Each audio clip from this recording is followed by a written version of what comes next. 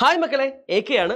Welcome to ഏഗൻ learning നോക്കടാ തമ്പിൽ നിങ്ങൾ കണ്ടു അല്ലേ ഈ സംശയം നിങ്ങൾക്കില്ലേ?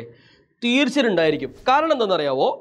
ഇതൊരു വലിയ സംശയമാണ് നിങ്ങൾക്ക് മാത്രമുള്ളതല്ല ഒരുപാട് ആൾക്കാർക്ക് സംശയമുണ്ട്.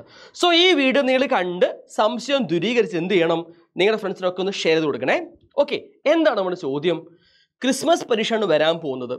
ആ പരീക്ഷയ്ക്ക് ഓണപ്പരീക്ഷയിൽ പഠിച്ച ഭാഗങ്ങളൊക്കെ വരുമെന്നാണ് നമ്മുടെ സംശയം.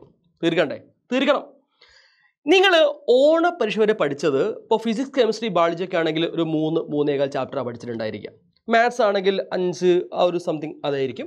ഹിസ്റ്ററി ജോഗ്രഫിക്ക് ആണെങ്കിൽ ഒരു എട്ടോളം ചാപ്റ്റേഴ്സ് പഠിക്കുന്നുണ്ടായിരിക്കും അല്ലേ? അങ്ങനെ ഓരോന്നിനും ഓരോ പോലെയാണ് പഠിക്കുന്നത് അല്ലേ? സോ ആ ഭാഗങ്ങൾ വീണ്ടും നമ്മൾ പഠിച്ച് അത് എന്താ പറയുക പിന്നെ എത്ര ആലോചിച്ചാൽ മതി. എന്ത്? നമ്മൾ ഓണപരീക്ഷയിൽ പഠിച്ച കാര്യങ്ങൾ ഇപ്പം നമുക്ക് ഓർമ്മ ഉണ്ടാവില്ല നിങ്ങളെ കുറ്റം പറയാനില്ല. സാറേ ഇന്നലെ പഠിച്ച കാര്യം വരെ ഇന്നേക്ക് ഓർമ്മയില്ലാത്ത അവസ്ഥയിൽ നിൽക്കുന്ന കുറേ ആൾക്കാർ ഇവിടെ ഉണ്ട്.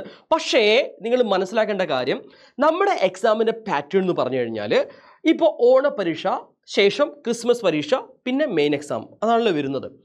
ക്രിസ്മസ് പരീക്ഷയ്ക്ക് നമ്മൾ പഠിക്കേണ്ടതായ കുറേ ഭാഗങ്ങളുണ്ട്. ഫിക്സഡ് ആയ ഭാഗം അതായത് ഓണപ്പരീക്ഷ ശേഷം നമ്മൾ സ്കൂളിൽ എടുക്കുന്ന ആ ഒരു സിലബസ് അല്ലേ? അത് കൃത്യമായിട്ട് പഠിക്കേണ്ടതുണ്ട്. ഇനി ആദ്യത്തെ ഘട്ടമായ ഓണപ്പരീക്ഷയുള്ള ഭാഗം നമുക്ക് ചോദിക്കും. ഉത്തരം ഞാൻ പറയാൻ പോവാണ്. കാതോർത്തിരുന്നോളും ചോദിക്കും. ഞെട്ടൊന്നും വേണ്ട. വെറും ഇരുപത് ശതമാനം മാർക്കിൽ ചോദിക്കണം എന്നാണ് നമ്മുടെ കരിക്കുലം കമ്മിറ്റി എക്സാം കമ്മിറ്റി പറയുന്നത്. ട്വന്റി പെർസെന്റേജ് എവിടെ നിന്നായിരിക്കണം ഫസ്റ്റ് പഠിച്ച ഭാഗം ചോദിച്ചേ മതിയാവുള്ളൂ. ഓൾമോസ്റ്റ് എല്ലാ എക്സാമിനേഷനും അത് പാലിക്കാറുണ്ട് കേട്ടോ ഒരു ഇരുപത് ശതമാനം ക്വസ്റ്റ്യൻ എവിടെ നിന്നുണ്ടായിരിക്കും ഫസ്റ്റ് ഭാഗം ഉണ്ടായിരിക്കും. അപ്പം നിങ്ങൾ ആലോചിക്കും സാറേ ഇനിയും ആ ഭാഗങ്ങൾ പഠിച്ചെടുക്കുക പറഞ്ഞാൽ ഭയങ്കര ബുദ്ധിമുട്ടാണ്. പക്ഷേ നിങ്ങൾ ടെൻഷൻ അടിക്കണ്ട.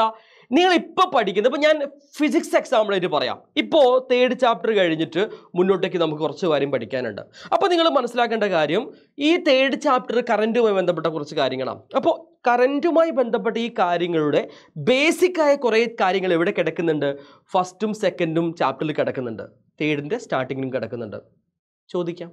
മനസ്സിലാവുന്നുണ്ടോ? സോ അതേപോലെ നമ്മൾ ഈ ഒരു സെഷനിൽ ക്രിസ്മസ് പരീക്ഷയ്ക്ക് പഠിക്കേണ്ട പാഠഭാഗത്തിൽ ബേസായ കാര്യങ്ങൾ ഉണ്ടായിരിക്കുമല്ലോ അതിൽ നിന്നുമുള്ള ചോദ്യങ്ങളെ എക്സ്പെക്റ്റ് ചെയ്യേണ്ടത്. ഞാൻ പറഞ്ഞത് നിങ്ങൾക്ക് മനസ്സിലായെന്ന് വിചാരിക്കുന്നു. സോ അങ്ങനെയുള്ള കാര്യങ്ങൾ വിട്ടുപോകരുത്. അതേപോലെ തന്നെ മോസ്റ്റ് ഇമ്പോർട്ടന്റ് ആയിട്ടുള്ള ഡെഫിനിഷൻസും അതേപോലെ തന്നെ വളരെ പ്രധാനപ്പെട്ട നിങ്ങൾ ഉറപ്പായിട്ടും പഠിച്ചിരിക്കണം. മെയിൻ എക്സാമിന് വരെ ഒരുപാട് തന്നെ ഇമ്പോർട്ടന്റ് ആയിട്ട് റിപ്പീറ്റ് ചെയ്ത കുറേ ചോദ്യങ്ങളൊക്കെ ഉണ്ടായിരിക്കും. അത്തരം ചോദ്യങ്ങൾക്കും നോക്കി വെച്ച് പോകണം പക്ഷേ നിങ്ങൾ ഏറ്റവും കൂടുതൽ ശ്രദ്ധയൂന്നി പഠിക്കേണ്ട ഭാഗം ഇത് തന്നെയാണ്? ഏതാണ്? ഓണപ്പരീക്ഷ കഴിഞ്ഞ് ഉള്ള ഭാഗം തന്നെയാണ്. ശരിയാണ്? കൃത്യമായിട്ട് പഠിക്കണേ. അപ്പം ഏകളിൽ കൃത്യമായ ക്ലാസ്സുകൾ നമ്മൾ തരുന്നുണ്ട്. ക്രിസ്മസ് പരീക്ഷ ബേസിലുള്ള എല്ലാ കാര്യങ്ങളും ചെയ്തു വെച്ചിട്ടുണ്ട്. നമ്മൾ തുടങ്ങിയിട്ടുള്ളൂ. അറിയാലോ? പക്ഷേ മുന്നോട്ടേക്ക് പോകുന്ന സമയത്ത് എല്ലാ കാര്യങ്ങളും സ്പെസിഫൈ ആയി കിട്ടുന്ന രീതിയിൽ ഞങ്ങൾ നിങ്ങളുടെ മുമ്പിൽ ഉണ്ടായിരിക്കും. നമ്മൾ മാരത്തോണൊക്കെ തുടങ്ങാൻ പോവാണ് കേട്ടോ ആ മാരത്തോൺ എന്ന് തുടങ്ങുന്നൊക്കെ നമ്മൾ അറിയിക്കുന്നുണ്ട്. അതെന്താ അപ്പം അറിയാത്തതെന്ന് അറിയാവോ നമ്മുടെ ടൈം ടേബിൾ നിലവിൽ എത്തിയിട്ടില്ലല്ലോ. സോ അതുകൊണ്ടാണ് അങ്ങനെ നമ്മൾ ചെയ്യുന്നത്. സോ കൃത്യമായിട്ട് നിങ്ങൾ മുമ്പിലേക്ക് ഒരു ബെസ്റ്റ് സ്റ്റഡി പ്ലാനുമായിട്ട് ഞങ്ങൾ വരുന്നതായിരിക്കും. സോ ഈ ഒരു സംശയം നിങ്ങൾക്ക് ദൂരീകരിക്കപ്പെട്ടു വിചാരിക്കുന്നു ഈ ഒരു വീഡിയോ നിങ്ങൾക്ക് യൂസ്ഫുൾ ആയിട്ടുണ്ട് എങ്കിൽ നിങ്ങൾ മസ്റ്റായിട്ടും നിങ്ങളുടെ ഫ്രണ്ട്സിന് ഷെയർ ചെയ്ത് കൊടുക്കുക കേട്ടോ. നെക്സ്റ്റ് വീഡിയോയിൽ കാണാം. ബൈ